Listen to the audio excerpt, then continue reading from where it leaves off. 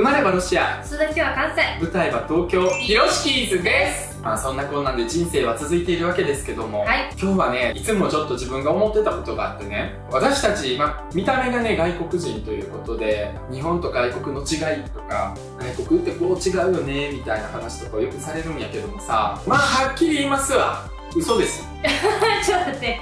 何が嘘なん？日本って外国と比べてこうだよねっていう話は大体嘘ですまあなぜならねも外国ってどこ問題？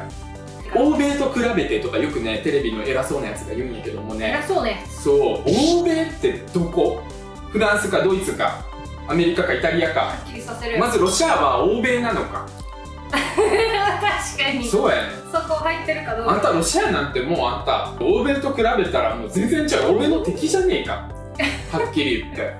欧米じゃねえってそうということでねまあもちろんねそういうご期待をされるということはよくわかるんやけどもまあ実際にはたとえロシアの話って言ってもねロシアもね右から左までもういっぱいね東から西かまあ右も左も東も西ももういろんなものがあってねもう一つのことにまとまらないわけですよ。はい。だから今日はあえて独断と偏見で嫌味を交えて嫌味を交えるんかい。そう日本とロシアの共通点について話していこうか共な通点？これはなかった動画かもしれない。リアルな視点になるかなって。自分らはさ、まあ、ロシアとかに帰ることはあるからな。こうあこういうとこがロシア人特徴があるなとかって感じたりロシア人よりもこう外国から来たロシア人みたいな目線で日本に関しても、まあ、やっぱ外国人目線を求められるから、まあ、俯瞰から見るじゃないけど、うん。お互いの国を俯瞰から見て実はそこそこ似てんなって思ってるとこがある。ちょくちょくあるね確かに。そう。だから今回はそれについて話していきたいと思います。じゃあ、まず、あれちゃん、なんかある？裸のお付き合い。方それは性にまつわるこ性にまつわること。まあと外国人はよく日本の温泉とかを見て、え、みんなでこう同じお風呂に裸で入って、変なの？みたいな。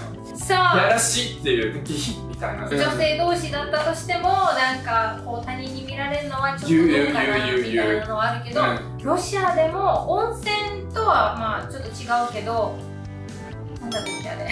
サウナかな。あんたそれ忘れたら、お前まるで大根かあんたよ。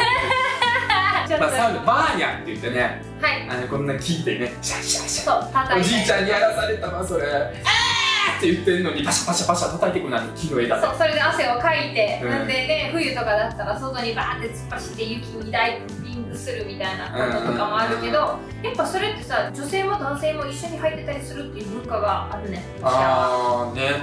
俺それにおいて思うのはおっさんがやたら熱いお湯に浸かることに対して偉そうにする全然まだ熱くないよまだまだだぞまだまだだぞってあのロシアのジジイもジジイになればなるほどこんなんじゃ全然だよ全然熱くもっとだよもっとだよ日本のおっさんも言うやんそれほんでお風呂からファッて上がったらもうこの湯船に浸かってたとこ真っ赤っかねやっぱ熱いやろ絶対。ゆでだこみたなないんかそのマウントの取り合いね。うん。確かにあるわ。これちょっと似てるよね。やあとなんかねやっぱロシアは男の人に関しては徴兵制があるからさ結局お風呂とかみんなで入るみたいなのはやっぱあってあんまりねあのロシア人に関しては日本のお風呂とかそういうものに関してはどうなんとは思わへんみたいな。ちょっと抵抗はなかったりするかなって自分はちょっと思っちゃった。する可能性があるからちょっと抵抗してんねんけどあなそういうこと？そうねすぐするから。あのロシア人の意見じゃないっていうことを伝えたいね。これはあくまで個人の意見でございます。じゃあ私も言っていい、はいそれでブラスさんロシア人はロシア語が世界で一番難しいと思っているけど日本人も日本語が世界で一番難しいと思ってる。日本語って難しいって言ったら日本の人はやたら喜ぶやんか。でロシア人もロシア語って難しいみたいなこと言ったらめっちゃ喜んでらっしゃる。だよね。アメリカの人に英語難しいって言ったらなんか「え簡単ねなんでそんなに話してんじゃん」すぐだ。ちょっと俺が教えてやるよ。私が教えてやるよみそうそうそう。たいなね。なんかそれぞれなんかねこれ何か分からへんけどあの日本の人はやっぱりこう漢字とかカタカナとかそれが混ざるのとかあと同じ生きるっていう字でもは、L とか、使い方がね。せとかいろんなこう音読み、訓読みもありとあらゆる一つの文字で読み方があって大変だみたいな。まあ確かに難しいっちゃ難しいとは自分をそうそうそれで苦労したね、日本に来た時に。ロシア人はなんか名詞が男性名詞、女性名詞みたいなのがあって、例えば飛行機が男性名詞やったりとか、なんかコップは女性名詞やったりとか、なんかなんかそういろいろ分かれてて、そういうのがややこしいとか、なんかこなんう、か書いたりするときそうそうそうそう、続け文字がとんでもなかったりとか。まあ、ようわからんけど、あの、私たちはお互いの国に行ってお互いの国の言語が難しいっていうことを言って適当に好感度を高めております。ユーモアセンス。あーね。日本は日本のユーモアセンスが一番ボケとツッコミのスタイルとかね。それがすごく面白いと思ってるしロシアはいやロシアの方が絶対に面白いっていう風な考え方してるよねだからどっちも自分のお笑いが最高にクールだと思ってるってことだよね。そうなんかこう、まあ面白いというかこう、外国人には理解できねえだろ、この面白さ、みたいな。持ってるよね。日本人も持ってるし、ロシア人もそうやね。これは外国人には分からへんな、ユーモアのあれが違うからって言って。ちょっと理解しづらいかもし俺れないなんかロシア人って一番ムカつくもん、それ。お笑い番組をやってるのを見て、どうやった？おもろかったか今の。分 かんねやろみたいな感じで、バカにされる。そう、だからムカつくから何言ってるかわからんくてもう笑い番組見たら、はははって笑うわけですよ。ほんで、たまに失敗して、今の何がもんかったそれ赤いなそれ聞かれた時どういうわけそうそうそう、あ、間違った。あとは、あの、自虐文化。日本人もそう、ロシア人もそうと思うんだけど、自分の国のことを、自分の国の人同士で、例えばロシア人とロシア人やったら、ロシアってもうほんま最近が遅れてるし、もう、なんかプーチンもなんかずっとあれやってるし、テレビもそうばっかりこの言ってるし。国もどうないなってるこんやなんないこともうない未来が生きていけへんわこの国こんなダサい国もう生きていきたくないわって言うのよ。日本の人もそんな感じで話すやん。日本はもう今や世界にとって遅れを取ってどうのこうの。うん言ったりするね。で、それを聞いてるところに外国の人が来て、外国人でちょっとロシア人訳して。俺ロシア人。ちょっと私外国人ね。ね、だから俺ロシア人の話やん。うん。ロシアってもう。こういうとこおかしいよね。もうなんか変な国やわってもう思うわもういつからこうなってもた昔は良かったのに。あそうですよね。ロシアって結構こういうところってやばかったりしますよね。あじゃあ国に帰れ 不満なんか？っていう。これ、これ日本と同じとここよ。れあるちょっとね、日本も島国っていうのもあるんやけども、ロシアはやっぱ長らくソ連だったで、一一応大陸国やけど、まあある程度こう隔離されてたよな、閉まってる国やったから、自分たちの中で築き上げた文化同士の閉まったものはあるんやけども、外国にとやかく言われることに対しては、ものすごいムカつく。やのに、うんここから離れたら、外国の人はこうやって言ってたわ、つって。一応真に受けてんねん。あこれどうどうするみたいなそうそうそう。外国にこんなこと言われてたで。この同士ではまた話す。たまらんでどうめんどくせえな、お前らも自分で考えろよってなってしまうのよね、これでは。も文句言うんじゃねえよな 日本もでもそういうのがあったりするそれちょっと共通してるとか政治に関して言ってもそうやね。一番トップの、まあ、総理大臣とか、ロシアだったらプーチンとか、なんか与党とか、めちゃくちゃ叩くやん。お前も何にもやからへん、もう国民のこと何にも考えてなくて、何もせえへん。ほんまにあれも悪いわ、もう何にもできひんねやって言うねんけど、ほんま不満やわ不満やわもう嫌やわ。良くない代わりやめろみたいな言うねんけど、どうしたらいいと思うって言われても、意見がない。あの、何も別に、改善案はない批判するけど、改善案はございません。年金問題をね、前も言ったけど、年齢をどうしてもね、払うあれが大変やから、年齢を、受給年齢を上げるって言って、年寄りのこと何も考えてへんのか年寄りの生活はどうなるんやって言うけど、じゃあどうしますってもう、ドランカが考えることやろ政治家が考えんとどうするんや政治家の仕事や、それは。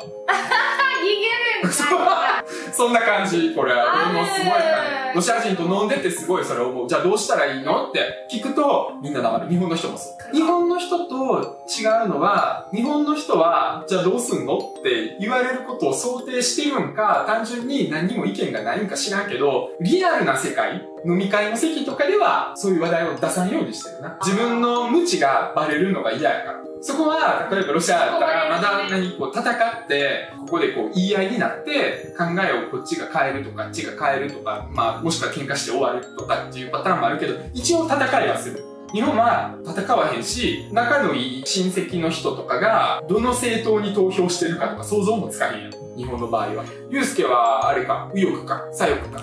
そうすけですね。そうすけ。そうすけそうは、すけはそうすどけこに投票したんだ？でそういうのは言わない方がいいという。そうでしょ？うん。そういうことよ。えー、めっちゃでも共通点で考えたらいっぱいあるわ、ほんまに。おしとやかじゃないけどちょっとこう恥じらいみたいなのちょっと似てるのかなと思った、う合うのかなと思った。日本とロシアの人はなんか喋ってる感じだったりだとか接してたりする時のなんか仕草だったりとかっていうのはちょっと似てるのかなって、まあ、仕草っていうかなんかこう恥ずかしがったりそうですねみたいなあー初対面の人とはね、初対面の人と距離を置くっていうね。ただ日本のロシアのその初対面の人との違いは、好意的に距離を置くのか、ブスッとして距離を置くのかの違いな気がする。日本の場合は、えー、そうなんですね。よろしくお願いします。えー、やけどロシアの場合は、で最初こう下から上までこう全身をこう見て これがロシア人。しかも友達でもね、同士だったとしても二人でこうでも1時間後、お酒出してみ。っ ていう感やるじ。そう。あ、あとネット。ネットのネットレビュー。本とかのレビューサイトがあるんだけど、これ日本のレビューサイトもそうやけど、この本は家族のあり方について深く書いていて、いろいろ考えさせられて、いい本でした。あんたは何を考えたんや？その内容を書けようと思うね私はこういう風に考えさせられたって言うけど、何も考えてんねん、本当は。考えさせられたと思ってるだけ。結局あなたは、こういう風な考えを今まで視点がなかったけども、こういう視点が芽生えて、今後はこういう風なことをして生きていこうと私は考えが変わりましたって書くんやったらいいけど、考えさせられました。何を考えさせられたかはお楽しみに。自分でお考えください内容わからんねん。あのロシアも一緒なのかロシア人のな、レビューもそうやねん、日本人もそうやけど、レビューを見てな、わからへんねん、ええ本かどうかが。アホが読んどるから。あと、 App Store のレビューもそうやで。レビューレビューで多いなレビューロシア語に対応してないから星一つ。日本語に対応してないから星一つ。知らねえよ。てめえが手に出してるアプリじゃねえんだよ、バカ野郎っていう話なんダウンロードの段階でわかるでしょって。